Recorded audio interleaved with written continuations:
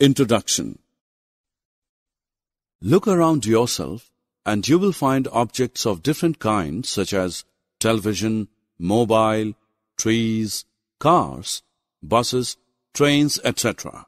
Objects such as television, mobile, trees, etc. are static. In other words, their position does not change with time. Such objects are said to be at rest, whereas objects such as cars, buses, trains, etc. are non-static. It means that their position changes with time. Such objects are said to be in motion. Let us discuss motion and time in greater detail in this lesson.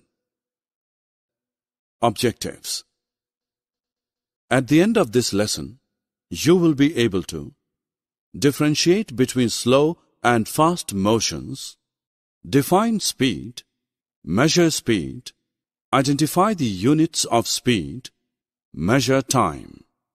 Suppose you have an appointment with your doctor at 5 in the evening. It is already 4.30 p.m. and the doctor's clinic is 5 kilometers away from your house. You have the choice of either cycling down or taking a taxi to the clinic. What will you do? Correct. You will take a taxi because a taxi is faster than a cycle. So we can say that some objects move faster than others. Now the same taxi moves fast on an empty road and slow on a busy road. Thus, the same object can move fast at one time and slow at another time. The next step is to identify whether an object is moving faster or slower than another object.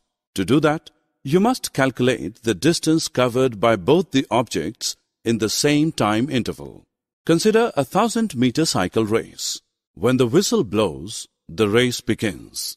Every cyclist starts at the same time. Suppose after 10 minutes, one cyclist reaches the finishing line. This means that the winner covered the distance of 1000 meters in 10 minutes. This also means that all the others who reached the finishing line later covered less than 1000 meters in 10 minutes and hence lost the race. So we can say that the object that covers a longer distance in a given time interval than other is faster. The most convenient way of finding out which object moves faster than the others is to calculate and compare the distances covered by all the objects per unit time. The object that covers a greater distance per unit time is quite obviously faster. The distance covered by an object per unit time is called the speed of the object. Suppose your brother claims that his motorbike is faster than his friend's. His friend denies. You know that your brother's motorbike covers a distance of 60 km in an hour, whereas his friend's bike covers 40 km in one hour. Let us now check the claims of your brother and his friend. The speed of your brother's bike is 60 km per hour, and that of his friend's bike is 40 km per hour. Your brother's bike is certainly faster than his friend's because its speed is greater. To measure the speed of an object, we measure the distance covered and time taken to cover that distance by the object.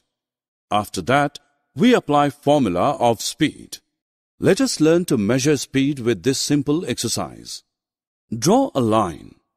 Ask a friend of yours to stand on the line.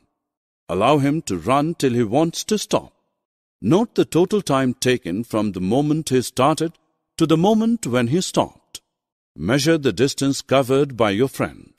Now divide the distance covered by the time taken to cover the distance. What you have calculated is the running speed of your friend. Do the meters and indicators in front of the driver's seat of your father's car scare you? Now they won't.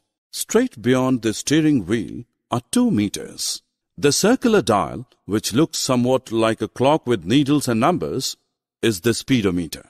When the car is in motion, one needle points to a particular number in the speedometer. This number is the speed of the car in kilometer per hour. There is also a rectangular box within a speedometer that has digits written on it. When the car is in motion, these digits undergo a change rather increase. This rectangular box is known as the odometer.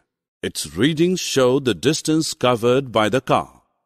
Have you ever wondered how our elders could tell the approximate time of the day by just looking at the shadows? Many events in nature repeat themselves after definite intervals of time. For example, sun rises every day in the morning. The time between one sunrise and the next is called a day. Similarly, a month is measured from one full moon to the next.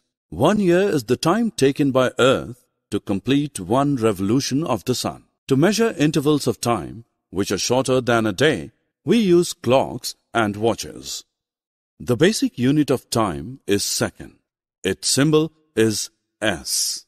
Larger units of time are minutes and hours. One minute is equal to 60 seconds and 60 minutes are equal to one hour. The basic unit of speed is meter per second. We can also express it in other units such as meter per minute and kilometer per hour.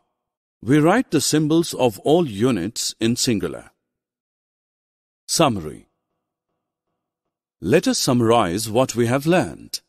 Some objects move faster than others. The object which covers larger distance in a fixed time interval move faster than other. The distance covered by an object per unit time is called the speed of the object. Speed is measured in kilometer per hour or meter per second. Speedometer measures the speed of a vehicle and odometer shows the distance covered by it.